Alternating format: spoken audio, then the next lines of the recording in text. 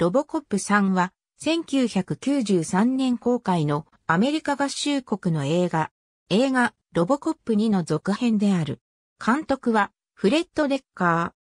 ー。前作で、ロボコップ2による大失態を犯してしまったオムニ社は、業績回復に躍起になっており、新たにデトロイトでデルタ式という都市再開発計画を進めていた。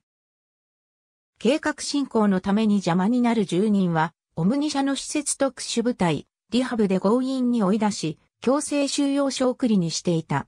市民の安全と自分を制作したオムニ社への絶対、中性プログラムとの間で板挟みになるロボコップ。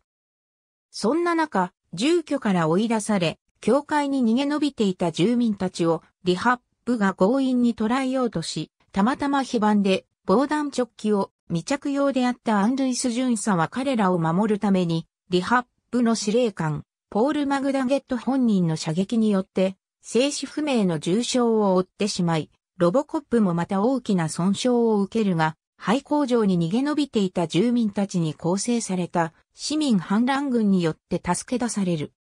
その頃、日本企業、金光コーポレーションに買収されたオムニ社では、会社を立て直すための過酷なノルマ達成、なりふり構わなくなったオムニ社の数々の悪行による、良心の呵責、そして理不尽な解雇処分に耐えられなくなり、自殺する社員が後を絶たない状態にあった。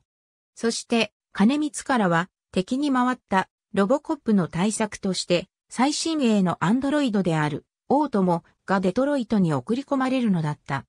一方、市民反乱軍の知らせを受け、ロボコップの収容されているアジトに合流したマリー・ラザラス博士は、ロボコップの修理と同時に、市民反乱軍が偶然入手した強化フライトパーツの装着を試みようとする。しかし、ロボコップが単独でマグダゲットの逮捕に向かっている間に、金と引き換えでマグダゲットに寝返ったメンバーの密告によってアジトの存在が知られてしまい、市民反乱軍は壊滅的ダメージを受けてしまう。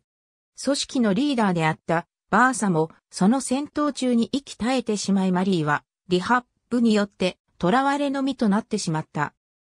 完全にデトロイトの支配者も同然となったマグダゲットはデトロイト市警察にまで住民の強制退去に協力させようとするが、オムニシャやリハップの暴挙に対し腹に据えかねていた警察庁をはじめとする警察官たちは、警察官としての誇りを守るために、これを拒否し、警察官の証であるバッジを次々と捨てて、警察本部を後にする。もはや手段を選ばなくなったマグダゲットは、警察に捕まったギャングたちを戦力として採用。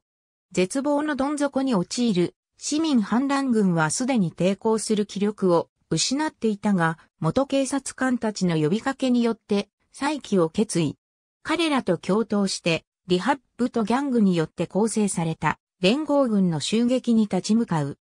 その頃崩壊したアジトに戻っていたロボコップの前に金光の命令を受けていた王友が姿を現し、ロボコップに襲いかかる。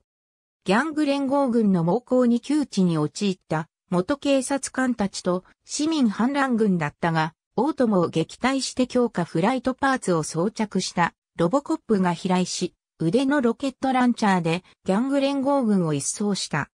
解雇され、すべてを失ったオムニ社 CEO がロボコップにマーフィーと親しげに話しかけるが、ロボコップは友達はマーフィーと呼ぶ。君たちにはロボコップだと言い放つのだった。全2作に主演していたピーター・ウェラーは、裸のランチ出演のためスケジュールが合わず、主役交代となった。また、同じく全2作に出演していたオムニ社のオールドマン会長役のダン・オ・ハーリーと会長の秘書役も本作には登場しない。ありがとうございます。